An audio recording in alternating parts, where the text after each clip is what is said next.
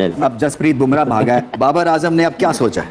रमेश भाई पहले इस चीज़ पे हमेशा आपको पता पाकिस्तान इंडिया मैच का एक डिफरेंट वाइब्स होती है डिफरेंट एक चैलेंज होता है। तो पहले लंबे सांस? लंबे सांस आप उससे निकल आए हैं। भाई बुमराह ने बाबर आज़म का करियर खत्म कर देना है। अगर तो वो चाहते हैं कुछ आगे अगर इन फ्यूचर कुछ अच्छा करें तो वो बुमराह से कुछ सीखें विराट कोहली से सीखें। अगर शाइन वर्ल्ड क्लास बॉलर होता तो उसने इंडिया के खिलाफ विकेट्स क्यों नहीं लिए यहाँ पर? बुमराह बॉल कर रहा है तो बाबर आज़म नाच रहा था। वो समझ नहीं आ रही थी बॉल इधर हो रही है इधर हो रही है।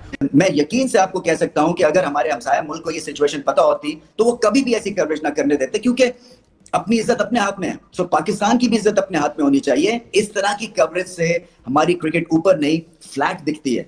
बुमराह एक ऐसा बॉलर है मुझे आप आप खुद बता दें किसी से भी पूछ लें कि वो किसी फॉर्मेट में आप बोलें कि बुमराह ये वाला ये बॉल नहीं कर सकते। मैं वो रमीज राजा वाला शो देख रहा था। रमीज राजा ने बाबर आज़म को इंट्रोड्यूस कराया लिविंग लेजेंड कम ऑन मतलब ये बाबर तुम लेजेंड है हमारा बाबर भाई। मतलब के ये लेजेंड है।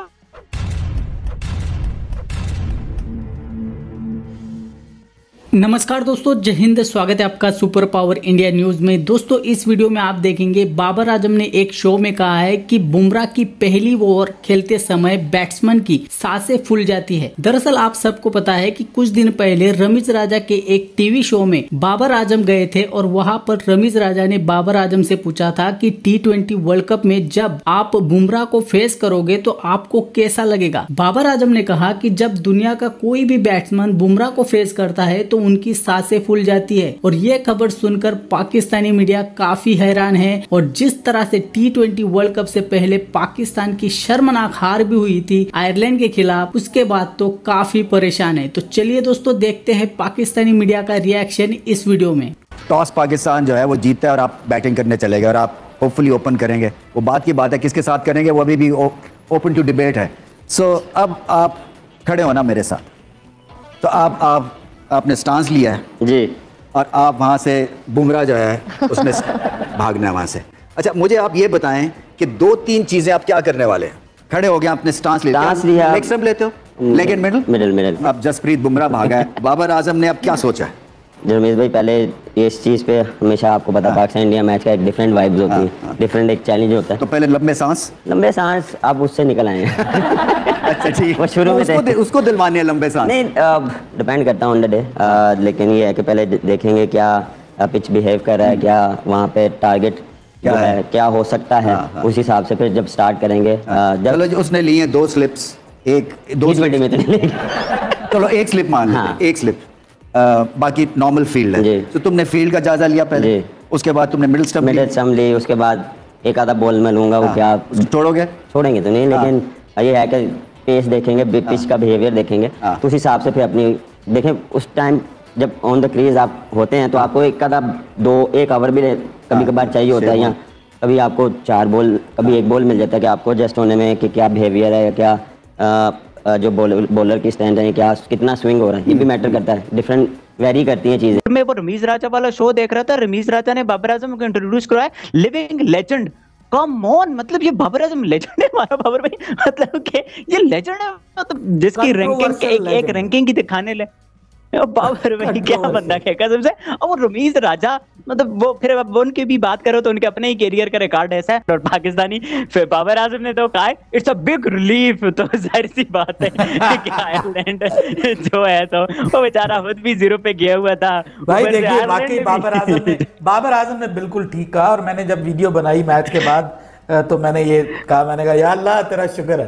कि पाकिस्तान शदीद बेइज्जती से बच गया मुकम्मल बेइज्जती जिसको हम इंग्लिश में कहेंगे कंप्लीट ह्यूमिलिएशन कंप्लीट ह्यूमिलिएशन से पाकिस्तान बच गया। फॉर द टाइम बीइंग अब दुआ करें कि तीसरा मैच जो है अगर हो गया तो फिर हमें नए सिरे से दुआएँ करनी पड़ेंगी। वरना बाबर ने तो कोई कसर नहीं छोड़ी। ऐसे लग रहा है कोई क्लब लेवल का मैच टेलीकास्ट हो रहा है दो कैमरे हैं और ना डीआरएस है ना कोई रिप्लेस है ना बाउंड्री रोक का पता चलता है ना अच्छी शॉट का मज़ा आता है देखने देखने को ना बॉलिंग का देखने को मज़ा आ रहा है और खाना पूरी की गई है। देखें ये बहुत ज्यादती है पाकिस्तान क्रिकेट के प्रोडक्ट के साथ। क्योंकि पाकिस्तान क्रिकेट को बहुत सारे लोग चाहते हैं पसंद करते हैं दुनिया में इसकी धाक है। और इसको इस तरह से प्रेजेंट करना ज़्यादा है पाकिस्तान क्रिकेट के साथ। सो पहले ही किसी को समझ लेना चाहिए था कि सिचुएशन वहाँ पे कवरेज की अगर ऐसी थी तो वो जो भी ब्रॉडकास्टिंग कंपनी थी माना ये आयरलैंड की राइट्स हैं ब्रॉडकास्टिंग के उनसे ले लेते अ, वो वो राइट्स और इस सीरीज़ के लिए भरपूर कवरेज करते क्योंकि ये रोड टू वर्ल्ड कप हमारा शुरू हो गया हुआ है। मैं यकीन से आपको कह सकता हूँ कि अगर हमारे हमसाया मुल्क को ये सिचुएशन पता होती तो वो कभी भी ऐसी कवरेज ना करने देते, क्योंकि अपनी इज़्ज़त अपने हाथ में है। सो पाकिस्तान की भी इज़्ज़त अपने हाथ में होनी चाहिए। इस तरह की कवरेज से हमारी क्रिकेट ऊपर नहीं फ्लैट दिखती है। और ज्यादती है, ये कोई अफ्रीकन कंट्री नहीं है कि जिस मर्ज़ी तरह से इसकी कवरेज करके और दिखा दिया जाए। और इंग्लैंड में ये सीरीज़ नहीं दिख रही है स्काई के ऊपर नहीं दिख रही है। प्राइमरीली उसकी वजह यही है कि इसकी कवरेज इस तरह से हो रही है। सो पाकिस्तान के साथ ये जाती है। पहले से किसी को इसके बारे में सोचना चाहिए था कि जब आप टीम, ऐसी टीम्स के खिलाफ खिलाते हैं तो एटलीस्ट उसकी कवरेज तो कुछ ठीक ठाक करें ना, ताकि प्रोडक्ट को इज़्ज़त मिले। कोई इज़्ज़त नहीं मिल रही है ऐसी कवरेज से पाकिस्तान क्रिकेट बाबर ने क्या करके गया? ज़ीरो पे आउट होकर गया चार बॉलों पे ज़ीरो कहा का घंटे का किंग है बाबर आज़म। क्योंकि आपके पास वो दुनिया के बेहतरीन बॉलर हैं जिसे आप so call number one bowling बोलते हो चार ओवर में 49 चार ओवर में 50 फोर्टी फोर रन तो मतलब कि आप कह रहे थे कि किंग आमर वापस आएगा तो कर लेगा भाई साहब आपके किंग आमर को बच्चों ने उठा उठा के लास्ट ओवर में सत्रह रन डाले। इंडिया ने इनको मार मार के ना बंदर इनको रोहित शर्मा भी ना ना पकड़े रोहित विराट कोहली भी ना इनको जसवाल ने मार मार बंदर कर देना है।